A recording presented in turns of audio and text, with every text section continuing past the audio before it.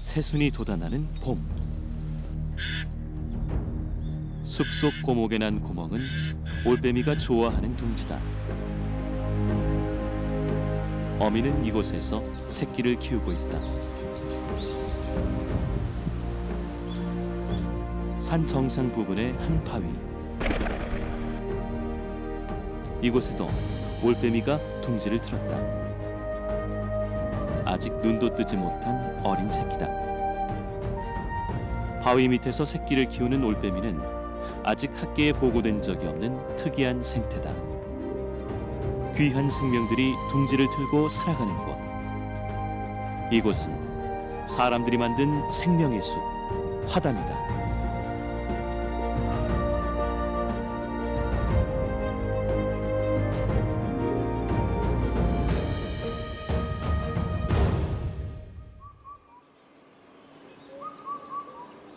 화담숲은 해발 512m의 바리봉 기슭에 자리 잡고 있다. 산골짜기 비탈과 계곡을 그대로 살려서 물기를 낸 숲은 1년 내내 계곡물 소리가 그치지 않는다. 이른 봄, 계곡의 이끼는 물까마귀에게 최고의 선물이다. 물까마귀 암컷은 이끼를 뜯느라 바쁘다. 입안 가득 이끼를 물고 찾아간 곳은 폭포 아래 바위 틈이다. 물까마귀 둥지다. 폭포 아래 바위 틈에 튼 둥지라 이끼는 최적의 재료다. 이끼를 빈틈없이 채워 둥지를 만드는 솜씨는 놀랄 만큼 수준급이다.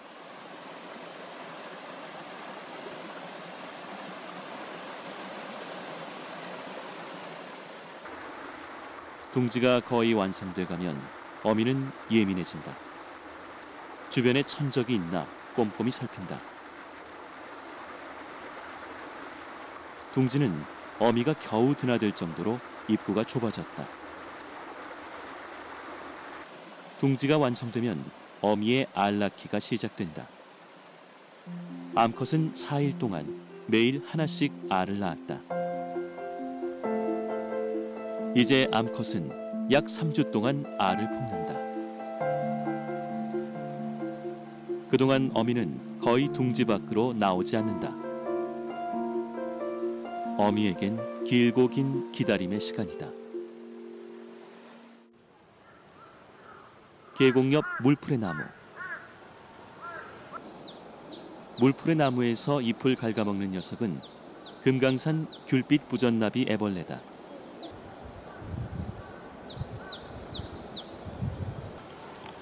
배부르게 잎을 먹고 나면 녀석은 나뭇가지 끝으로 이동한다. 잎이 세 개 정도 나 있는 줄기를 선택한 애벌레. 줄기를 자르기 시작한다. 이 작업은 약 1시간 동안 이루어진다.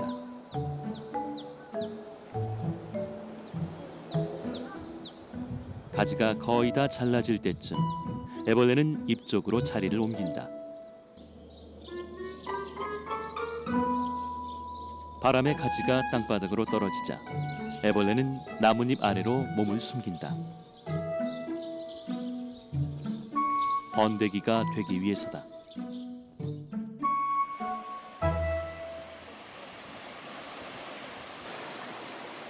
맑은 물이 흐르는 계곡의 습지는 생명의 보고다.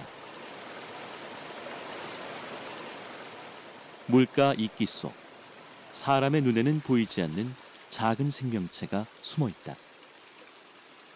1mm도 채 되지 않는 애 반딧불이 알이다. 이곳에서 겨울을 난 애 반딧불이 알은 봄이 되면 하나 둘 깨어나기 시작한다. 알에서 깨어난 애벌레는 곧바로 물 속으로 들어간다. 먹이를 먹기 위해서다. 먹잇감은 제 몸보다 큰 다슬기다. 애벌레의 무기는 입속의 침이다. 애벌레의 침은 다슬기 근육을 마비시켜 버린다.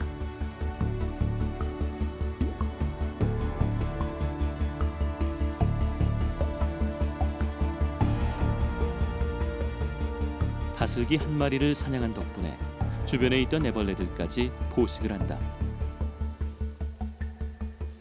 이렇게 물속에서 약 한 달간 먹이를 먹고 자란 애벌레는 물 밖으로 나와 번데기가 될 준비를 한다. 입에서 나온 접착성 본비물에 모래와 진흙을 섞어 스스로 고치를 만든다. 이렇게 방을 만들고 그 안에서 약 열흘간 번데기 생활을 한다. 봄이면 계곡 근처 숲은 날마다 새로운 생명이 태어난다. 금강산 귤빛 부전나비도 방금 낙엽 밑에서 번데기 껍질을 벗었다.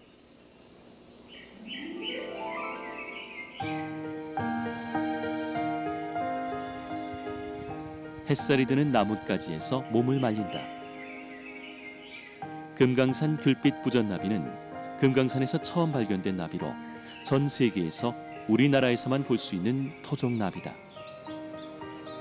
나비는 세상에 나오자마자 짝짓기를 한다. 번식은 가장 중요한 생존의 이유기 때문이다. 짝짓기는 치열한 경쟁 속에서 이루어진다. 힘센 수컷이 암컷을 차지하는 곤충의 세계. 이 무렵 숲은 세상에서 가장 화려한 모습으로 탈바꿈한 나비들 세상이다.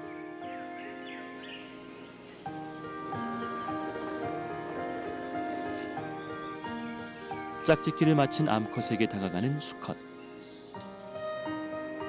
암컷은 꼬리를 치켜들며 거부한다.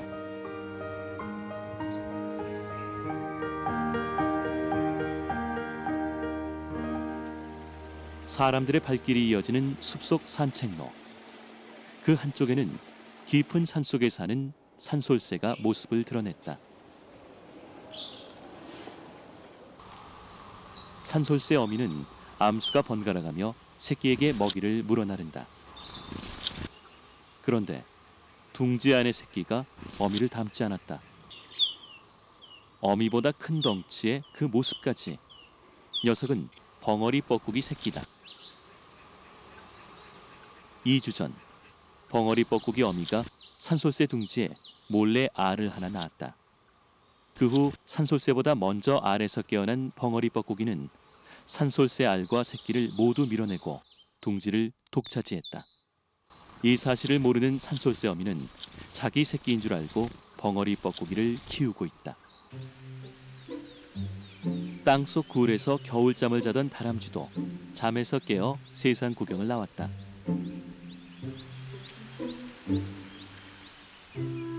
묵은 잣에서 알맹이를 찾아낸 녀석은 운이 좋은 편이다.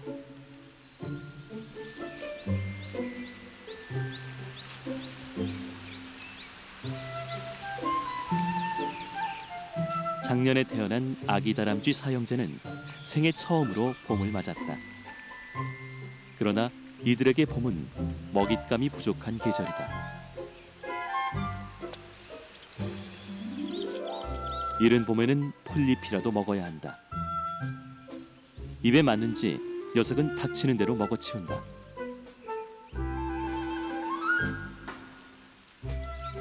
이 시기 어린 다람쥐들이 즐겨 먹는 것은 민들레 잎과 토끼 풀꽃이다.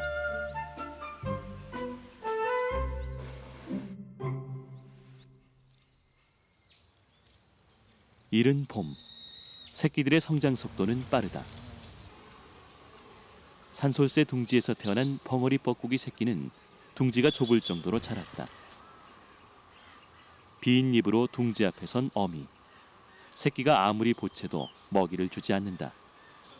다 자란 새끼를 둥지 밖으로 나오게 하려는 어미의 이소 작전이다.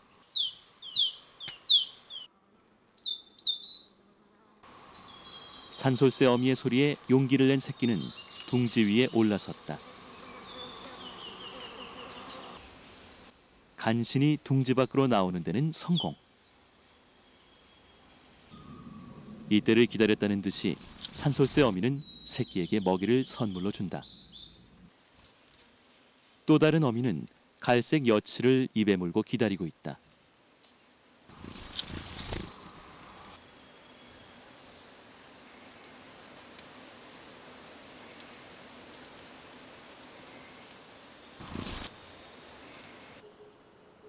둥지 밖으로 나왔다고 새끼가 독립한 것은 아니다. 여전히 새끼는 어미의 먹이를 필요로 하고 천적으로부터 새끼를 보호하는 것은 어미의 몫이다.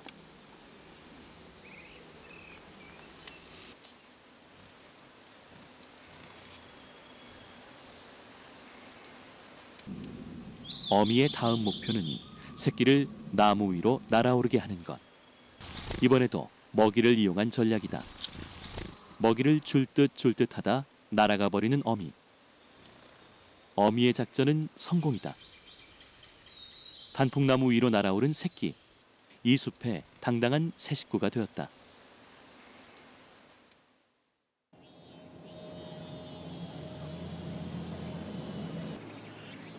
사람들의 왕래가 잦은 모노레일 승강장역. 쪽동백나무 줄기에 벌이 집을 지었다. 나뭇가지에 단단히 붙여놓은 벌집. 생긴 모습이 마치 뱀 허물 같은 뱀 허물 쌍살 벌집이다. 길이가 약 30cm인 벌집 안에는 방마다 애벌레가 자라고 있다. 그런데 애벌레에게 먹이를 주고 있는 벌들은 어미가 아니다. 약 한 달 전 먼저 태어난 벌들이다. 동생들에게 줄 먹이는 소화가 잘 되도록 침을 섞어 경단을 만든 후 조금씩 잘라 애벌레에게 먹인다. 애벌레를 돌보며 벌집을 지키는 일은 오로지 먼저 태어난 언니 벌들 몫이다.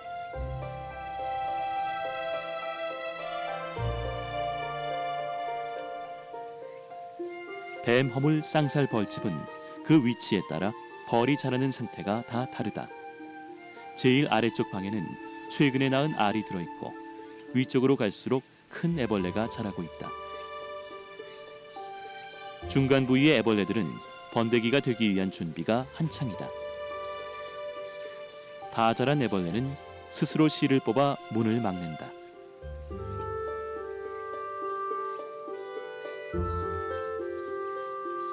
이렇게 문막이 공사가 끝나면 애벌레는 방 안에서 번데기가 될 때까지 기다려야 한다.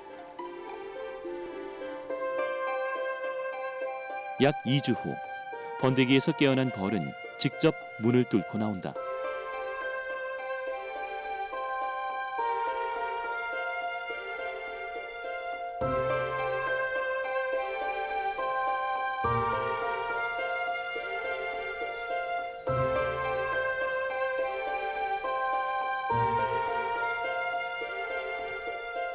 이 봄, 화담숲은 생명의 신비로 가득하다.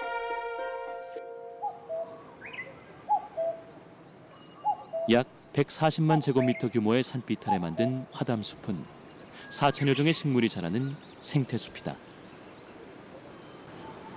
나무의 종류와 식생에 따라 만든 16개의 테마원을 중심으로 이어지는 5.2km의 산책로.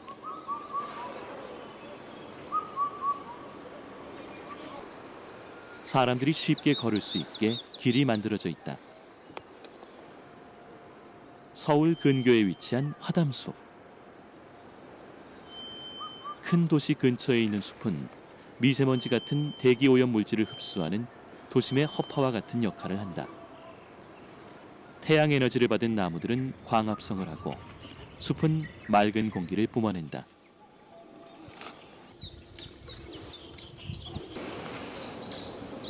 특히 2천여 그루의 소나무가 운치 있게 자라는 소나무원은 살균 작용이 뛰어난 피톤치드를 뿜어내며 숲에 활기를 불어넣는다.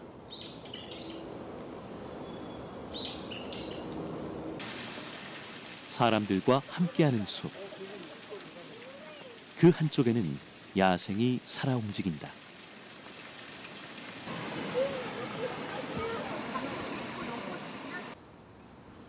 늙은 소나무 밑동에 난 구멍. 말벌의 움직임이 심상치 않다. 안에서는 말벌이 벌집을 만드는 중이다. 말벌은 솜씨 좋은 건축공이다.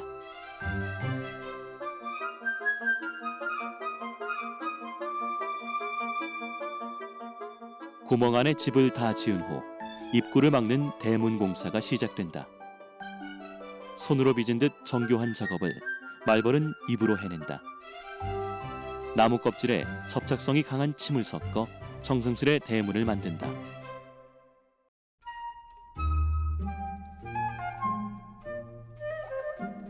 화담숲은 1년 내내 꽃이 핀다. 진달래 가 지고 철쭉이 만발하면서 화담숲은 꽃동산이 된다.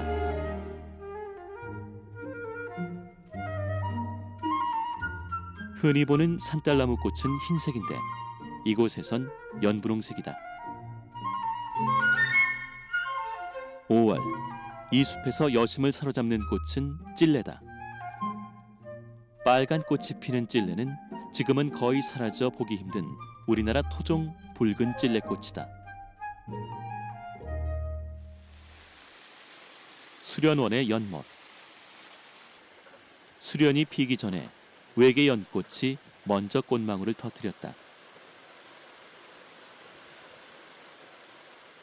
이 무렵 연못은 잠자리 왕국이 된다. 수련원 연못 주변에서 발견된 잠자리의 종류만 해도 10여 종이 넘는다.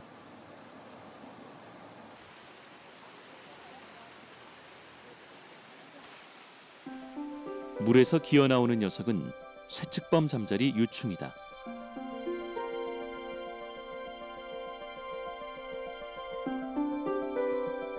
창포줄기 끝으로 올라간 유충은 약 30분간 몸을 말리며 우화를 준비한다.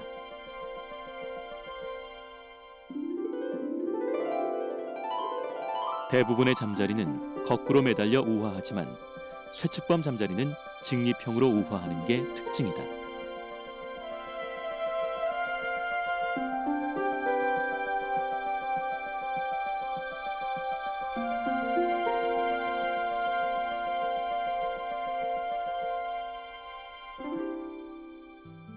날개를 다 펼친 잠자리는 천적의 공격을 피해 물가 나뭇가지로 이동한다.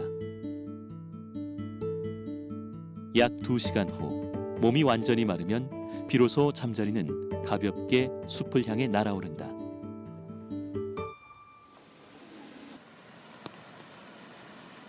비는 반가운 손님이다. 숲은 모처럼 생기가 넘친다.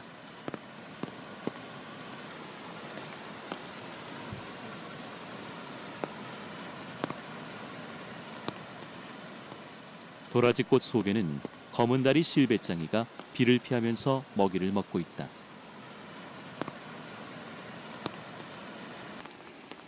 산제비 나비는 비에 젖은 길 위에서 무기질을 흡수하고 물은 바로 배설한다.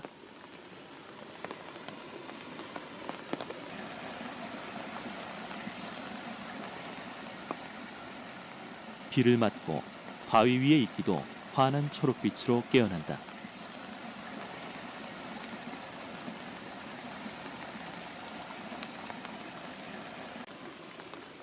숨어있던 생명들도 모습을 드러낸다. 느리게 움직이는 산 민달팽이는 천적의 눈에 띄기 십상이다. 하지만 독성이 있어서 새들의 공격을 받지 않는다. 그러나 지렁이는 다르다. 땅 위로 올라온 지렁이는 새들이 곧 천적이다.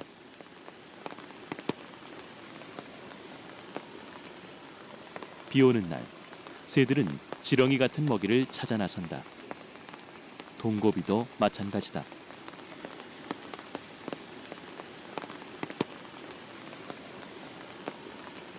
딱새도 이때를 놓치지 않는다.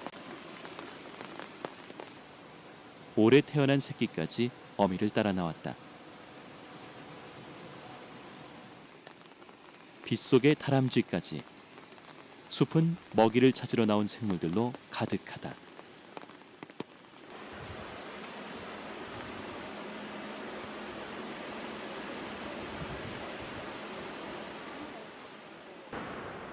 비온 뒤 계곡의 물소리가 더 요란스러워졌다. 계곡 옆 바위에 둥지를 튼 물까마귀 둥지.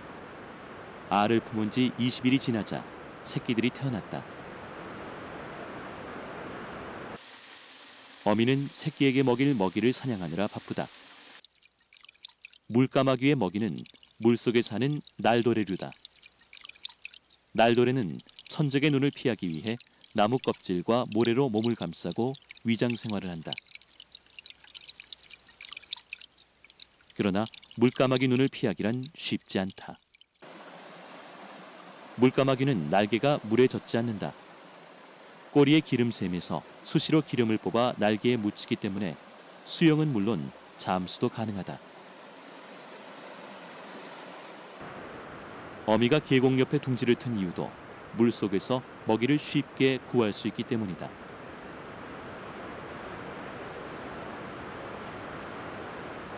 부화한 새끼들이 둥지를 떠나기까지 약 보름간 어미의 사냥은 계속된다.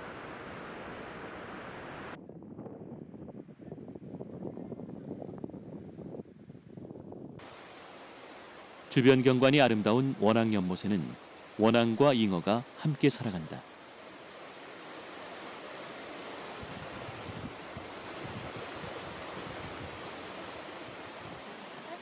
이 연못 주변은 화담숲을 찾는 사람들의 휴식 공간이기도 하다. 사람들의 쉼터 바로 옆 나뭇가지에 붉은 머리 오목눈이가 둥지를 틀었다. 숲에서 가져온 애벌레를 새끼 여섯 마리에게 골고루 나눠주기란 쉽지 않다. 새끼가 많은 어미는 한시도 쉴 틈이 없다.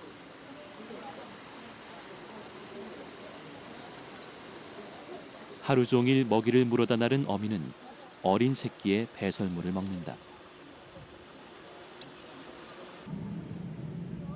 다행히 먹잇감 사냥은 멀리 갈 필요가 없다. 둥지 앞 연못 주변에 애벌레나 메뚜기 같은 먹이가 많기 때문이다. 새끼들은 잘 먹는 녀석이 더 많이 얻어먹는다. 이번엔 거미 알집을 통째로 물고 왔다.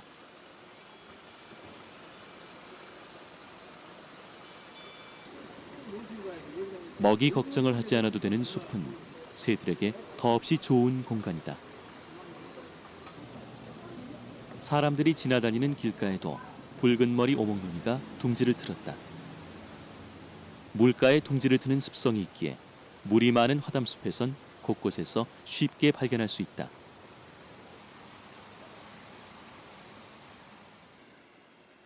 인간과 자연이 함께 살아가는 곳. 숲의 하루는 아직 끝나지 않았다. 계곡 옆 개울가.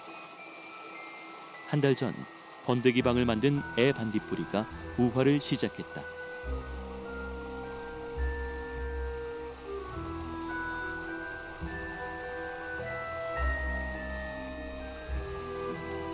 우화가 끝나면 바로 옆 풀잎으로 올라간다. 초여름 밤 사람들은 애 반딧불이를 보기 위해 이곳을 찾는다. 여기랑 여기 반딧불 있네.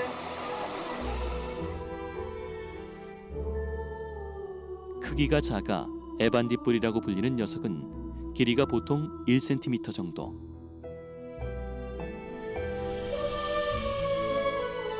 반딧불이가 불을 밝히는 건 짝을 찾기 위해서다.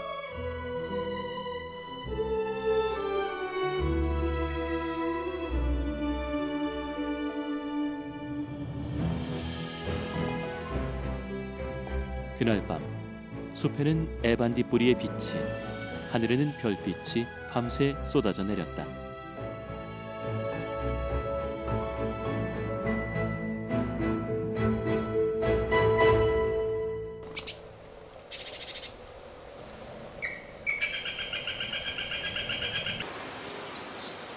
골짜기에 위치한 숲. 아침 햇살이 드는 시각이 다른 곳보다 늦다. 이른 아침 새끼를 키우는 물가치 둥지는 소리부터 요란하다. 새끼 기르는 어미는 잠시도 쉴 틈이 없다. 물가치는 집단 번식을 하는 습성이 있는데 새끼를 보호하며 함께 키우기 위한 전략이다.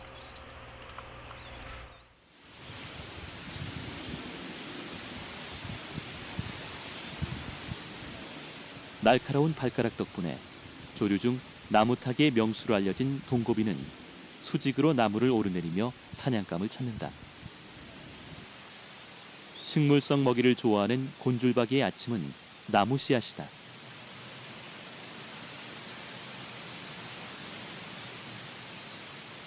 오색 딱따구리도 나무 둥지 속 새끼에게 먹이를 물어나르느라 바쁘다.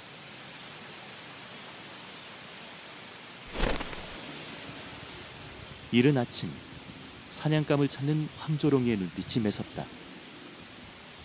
이 숲의 최고 포식자다운 움직임이다.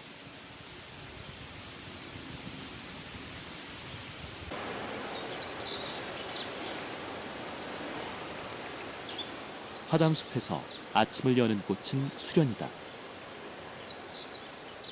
해가 뜨면 잠에서 깨어난다.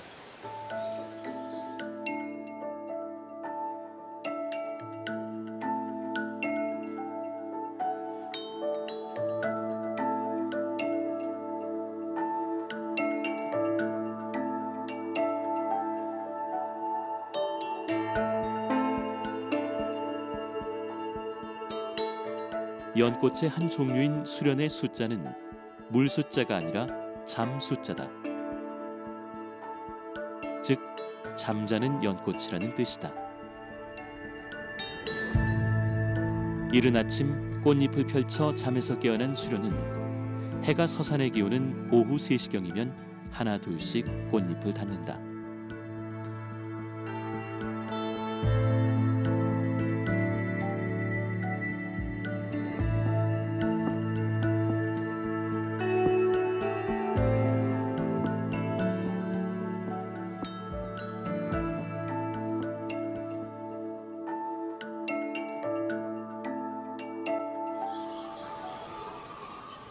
산책로에 솔라리가 피었다. 새아씨라는 꽃말을 가진 솔라리는 여름의 시작을 알리는 꽃이다. 호리꽃 등에는 솔라리 꽃가루를 먹느라 정신이 없다.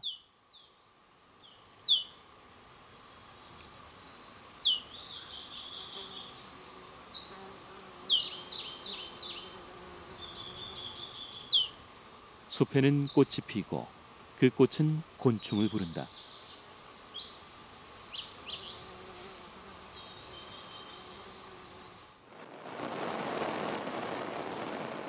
여름 장마가 시작됐다.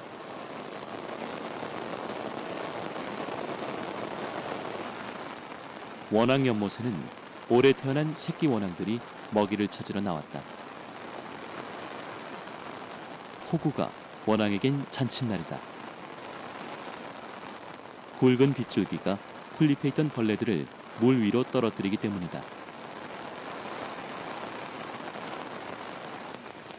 그러나 알을 품는 어미에겐 큰 시련이다. 붉은 머리 오목눈이도 마찬가지다. 알이 비에 젖으면 온도가 내려가 부화에 실패하고 만다. 어미는 온몸으로 비를 맞으며 둥지를 지킨다. 쪽 동백나무 가지에 집을 지은 뱀 허물 쌍살벌집은 폭우에도 비가 거의 들이치지 않았다. 층층이 뻗어있는 나뭇가지 밑에 둥지를 만든 덕분이다. 그러나 나뭇가지를 타고 흘러내리는 물기까지 막지는 못한다. 비상 상황이다.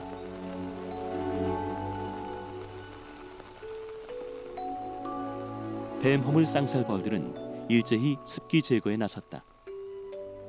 벌집 주변을 돌며 빨아들인 습기는 방울방울 벌집 밖으로 뱉어낸다.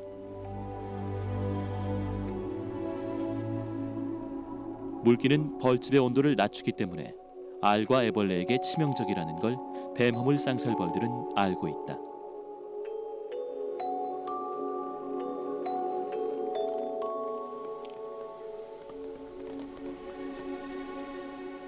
소나무 구멍에 집을 지은 말벌은 사정이 심각하다. 대문이 반쯤 떨어져 나갔다.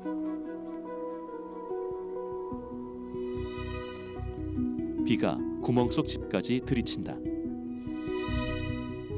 급한 건 빗물 제거.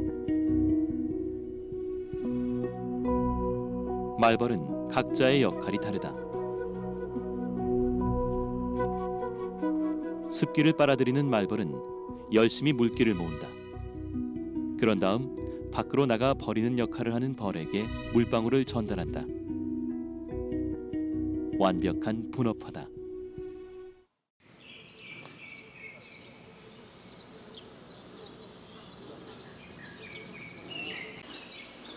이틀간 내리던 비가 그쳤다. 그동안 숲에도 많은 변화가 생겼다. 평소 숨어있던 생명들이 모습을 드러냈다.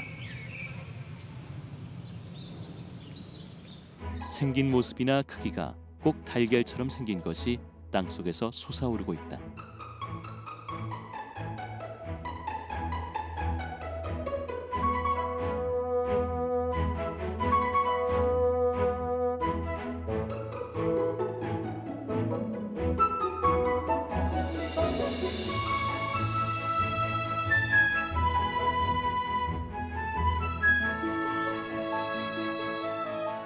달걀 껍질과 같은 흰 껍질을 찢고 붉은 알맹이가 올라와 퍼지면 우산처럼 가시된다.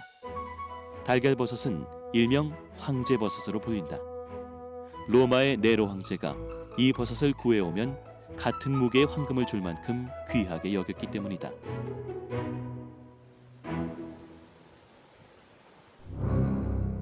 포구의 소나무 구멍에 있는 말벌집은 대문이 다 부서지고 안에 있는 집도 피해를 입었다.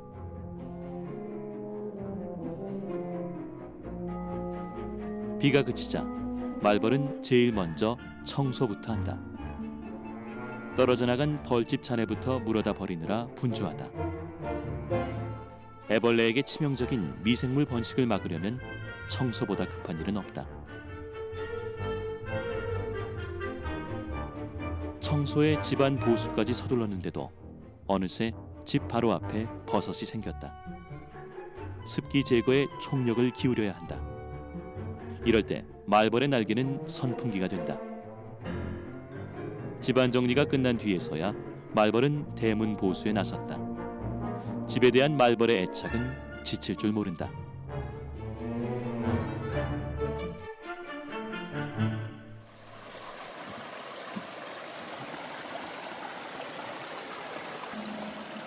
한여름 7만여 그루의 산수국이 만개했다.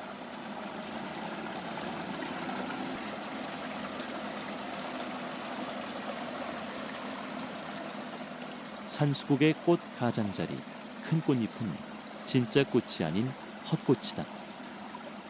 진짜 꽃은 가운데 있는 작은 꽃이다.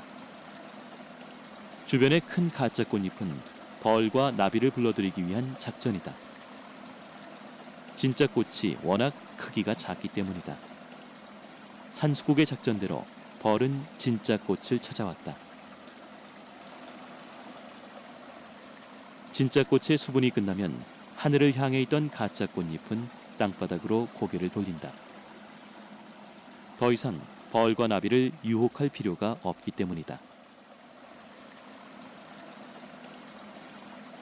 산수국 꽃은 토양에 따라 색깔이 변한다. 중성일 때는 흰색 꽃이 피지만 알칼리성 토양에서는 연자주색 꽃을, 산성이 강할수록 푸른색 꽃을 피운다. 물을 좋아하는 산수국은 여름 내내 계곡 옆 숲을 지킨다.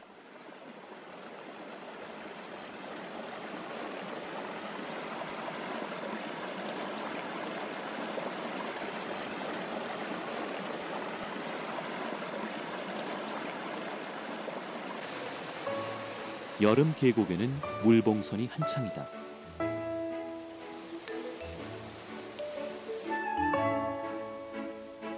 꽃 모양이 뻐꾸기 입속처럼 생긴 뻐꾹나리는 한여름을 알리는 꽃이다.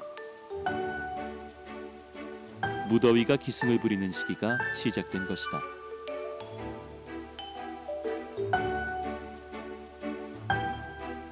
더위를 피해 새들도 계곡의 나지막한 웅덩이를 즐겨 찾는다. 새들의 목욕탕이다.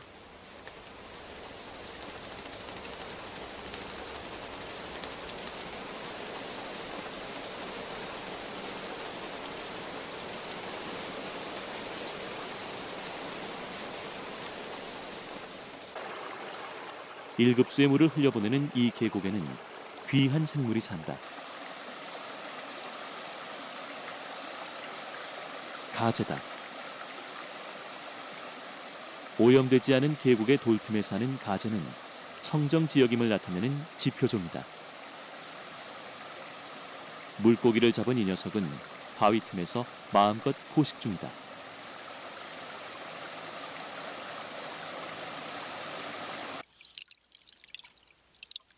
예부터 가재 계곡이라 불렸던 이곳은 연중 물길이 이어지면서 해마다 가재 수가 늘어나고 있다.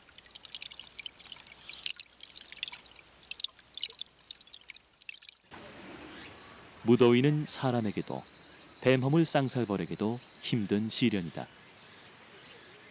벌들도 더위를 식히기 위한 총력전을 펼친다. 이럴 때 날개는 선풍기처럼 유용하다. 식구가 늘어나면서 먹이도 그만큼 많이 필요해지는 시기.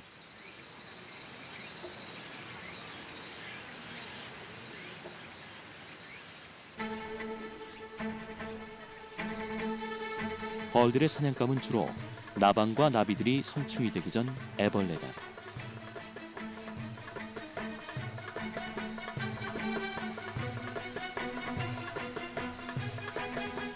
날카로운 입으로 애벌레의 딱딱한 껍질부터 잘라낸다. 그리고 속살을 경단으로 만들어 물어나른다. 그 중에서도 벌들이 가장 좋아하는 부위는 내장이다.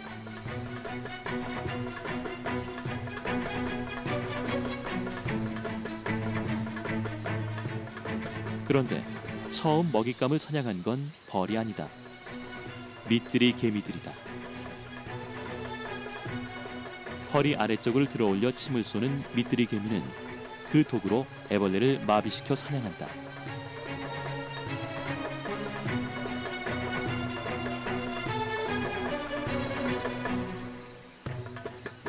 밑들이 개미보다 서너 배나 덩치가 큰 곰개미도 냄새를 맡고 찾아왔다. 곰개미는 밑들이 개미 눈을 피해 아랫부분에서 즙을 빨아먹는다. 그러나 그것도 잠시. 미뜨리 개미가 접근하는 순간 곰개미들은 출행랑을 친다. 미뜨리 개미에게 독침이 있다는 걸 곰개미도 알기 때문이다. 운이 좋은 땅벌은 배짱이 사냥에 성공했다. 무게가 무거워 한 번에 나를 수 없어 배짱이를 둘로 나누고 있다.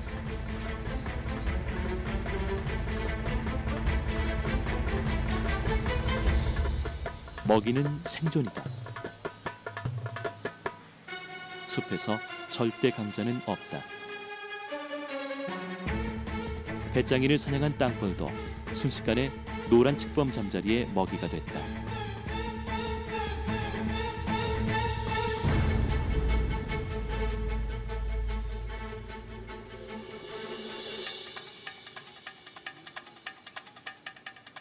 풀밭의 강자는 따로 있다. 사막이다. 부동자세로 30여 분을 기다려 나방을 사냥한 위 사냥감을 산채로 씹어 먹는다.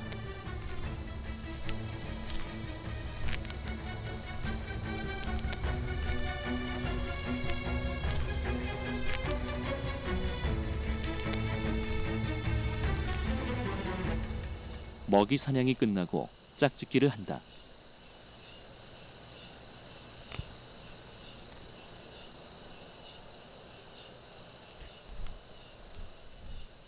짝짓기는 숲속 생명들의 종족 보존 본능이다.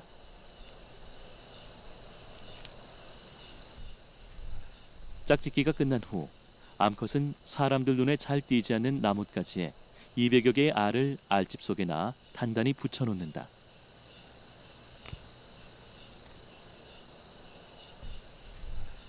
알집 속의 알들은 이곳에서 긴 겨울을 나고 내년 봄 알에서 깨어날 것이다.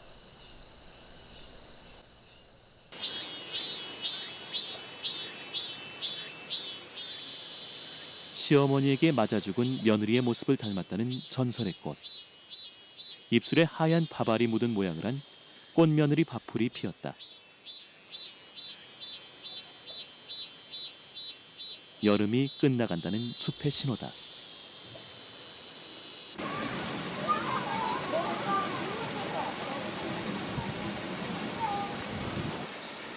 아침 저녁으로 찬바람이 불기 시작하는 9월. 굴참나무 열매도 붉어지면서 익기 시작한다.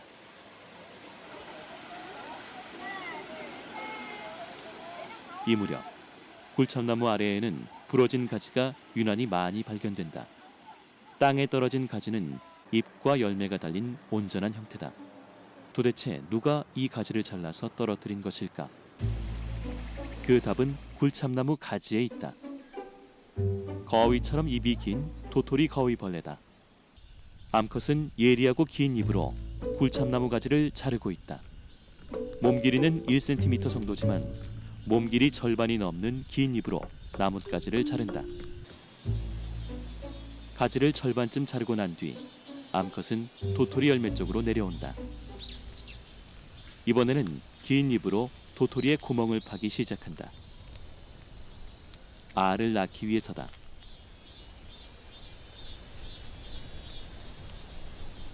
암컷의 구멍 파기가 시작되면 수컷이 와서 짝짓기를 시도한다. 잠시 동작을 멈춘 암컷. 이내 도토리에 구멍 뚫기를 계속한다.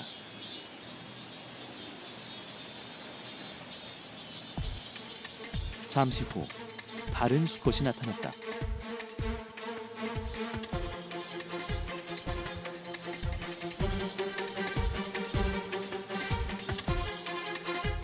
수컷은 필사적으로 침입자를 물리치지만 암컷은 쳐다보지도 않는다.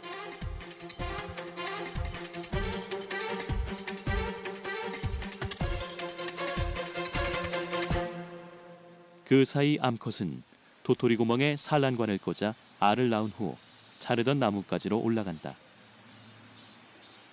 수컷은 다시 짝짓기를 시도한다. 하지만 암컷은 나무 자르기를 쉬지 않는다. 짝짓기가 끝난 후에도 수컷은 암컷 뒤에서 지키고 서 있다. 다른 수컷의 접근을 막기 위해서다. 주변에 있던 다른 수컷이 다시 접근한다. 이번엔 두 마리다.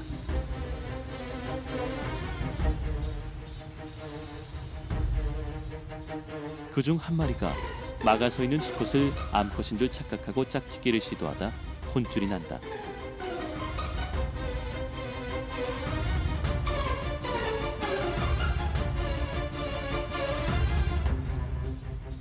침입자를 모두 물리친 수컷.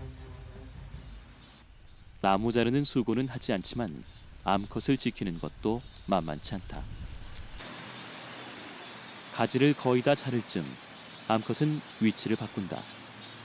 나뭇가지와 같이 떨어지지 않기 위해서다.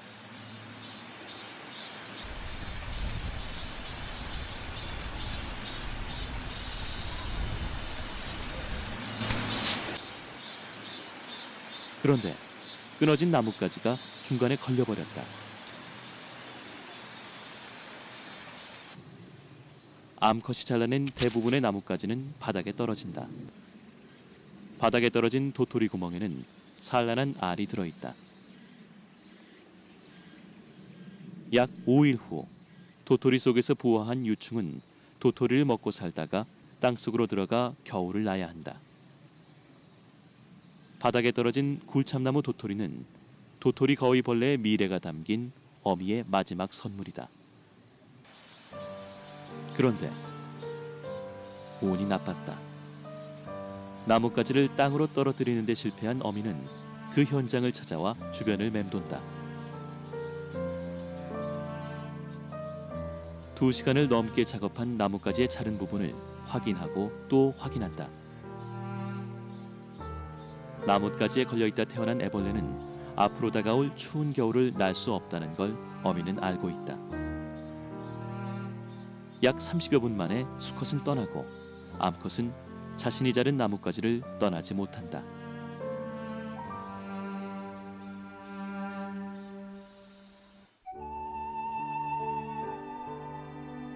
화담숲이 붉게 물들었다. 11월 가을이 깊어졌다.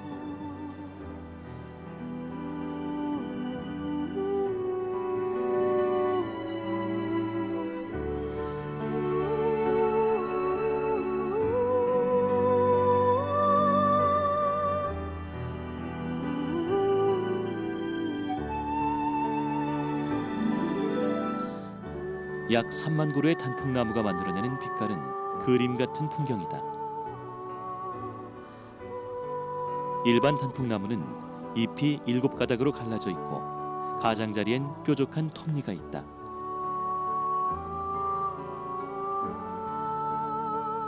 우리나라 산에서 가장 많이 볼 수 있는 단풍나무는 당단풍이다. 당단풍은 잎이 아홉 개 내지 열한 개로 갈라진다. 화담숲은 우리가 흔히 볼 수 있는 단풍나무뿐만 아니라 400여 종의 단풍나무를 볼 수 있는 단풍 전시장이다. 화담이라는 이름 그대로 나무도 바람도 정답게 말을 건네는 숲. 화담숲의 가을이 깊어간다.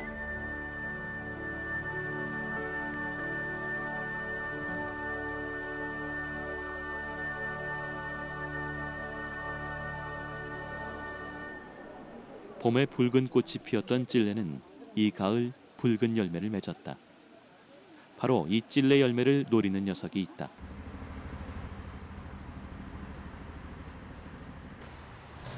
사람들의 시선은 피했지만 들리는 소리에 잔뜩 긴장하며 찔레 열매를 따먹는다.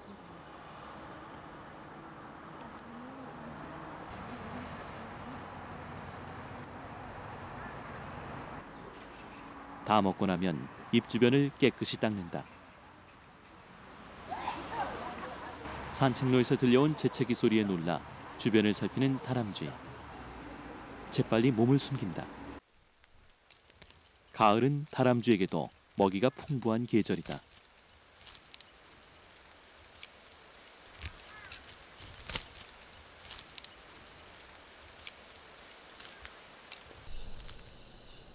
숲속의 백년 밤나무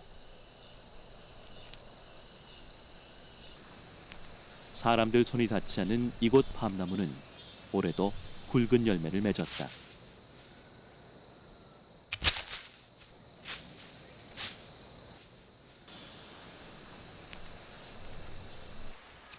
떨어진 밤은 다람쥐 차지다.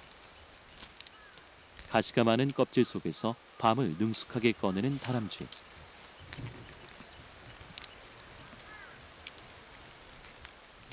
밤 하나를 까는 데 걸린 시간은 채 1분도 되지 않는다.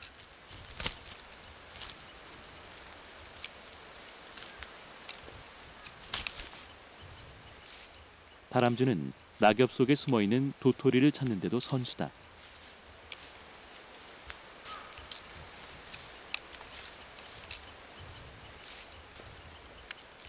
화면 속도를 빨리 돌리는 것처럼 녀석의 움직임은 재빠르다.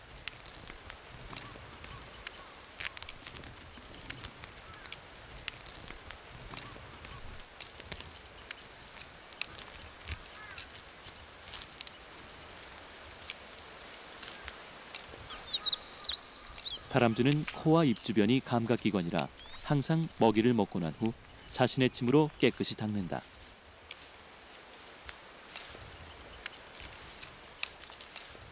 마무리는 낙엽으로 한다.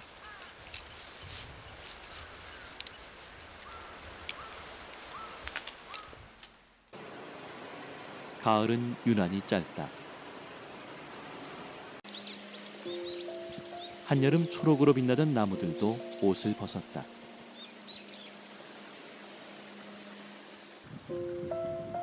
겨울은 어느 날 갑자기 소리도 없이 찾아왔다.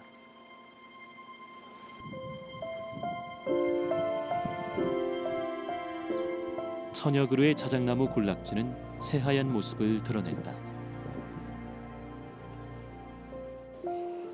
불에 타면 자작자작 소리를 내는 자작나무는 종이처럼 하얀 나무 껍질 옷으로 이 겨울을 날 것이다.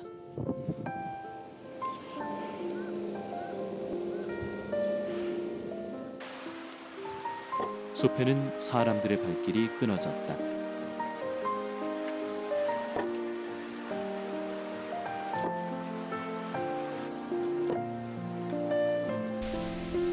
숲을 지키는 건 새들이다. 추운 날씨에 새들도 먹이 찾기가 더 힘들어진다. 나무 열매나 나무 뜬걸에 숨어 있는 벌레라도 찾아야 한다.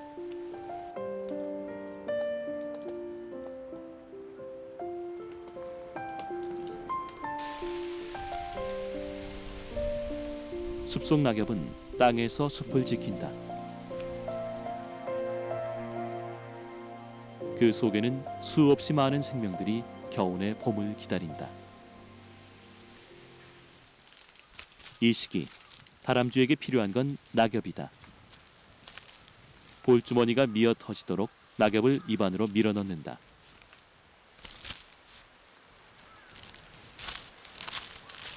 입안 가득 낙엽을 물고 찾아간 곳은 자기 집이다.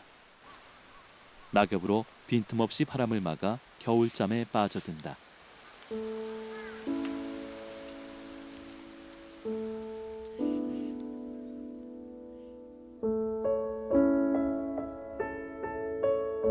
하얀 눈꽃이 숲을 덮었다.